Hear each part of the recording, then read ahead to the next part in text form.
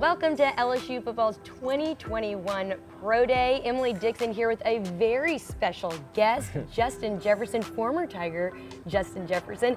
Now, how does it feel, first of all, just to be here, come back home, since it's been a while, especially with the yeah. pandemic and your first NFL rookie season, and then now you're back home?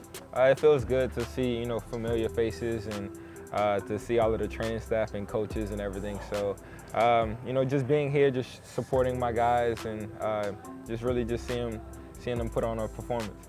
And they're kind of going, on your former teammates now, a different experience than what you had since you didn't have an LSU yeah. Pro Day last year. And obviously, how do you see how that's changed kind of the way that they've approached the day and, of course, all of their timing and results? Yeah, man, I, I wish we had the pro day. Um, you know, just being here that one last time, um, really working out with my brothers for the last time, but just seeing these guys have the opportunity to, you know, come here and showcase what they what they have. So uh, I'm excited to see where they go and where they end up. Lots of great performances today, but the wide receiver trio, I mean, running all in the four threes. Did you expect such presentation from them to really show up and show out?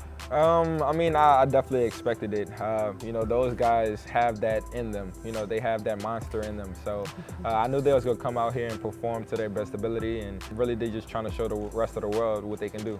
You were one of five first-round picks for LSU in last year's draft. Ja'Marr Chase obviously projected to go in the first round this year. Hopefully, a Terrace Marshall as well. But do you have any advice for those guys as they kind of embark on this really just keep the fight in you. Uh, don't let you know that that fame, don't let that that money get to you. Um, you know, just know where you come from, um, know what got you to where you uh, where you're at at this point, and just keep working. There's there's never you know an ending to to a performance, and you know you just got to keep going. You had such a great rookie season, especially being up for Offensive Rookie of the Year, all the records that you broke at the Vikings and everything. So now that you've gone through that first year in the NFL, how can you really see how LSU prepared you to not only take the next step but be that successful? Um, just it was just easier. Um, just going to the league and um, you know being from LSU, just having that that monster mentality each week, going up against those SEC schools. So uh, each week I just try to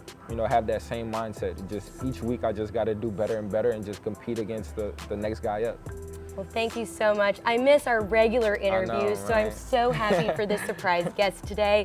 Thanks for coming out and supporting everybody, no and we are really looking forward to see what you do in year number two. for sure.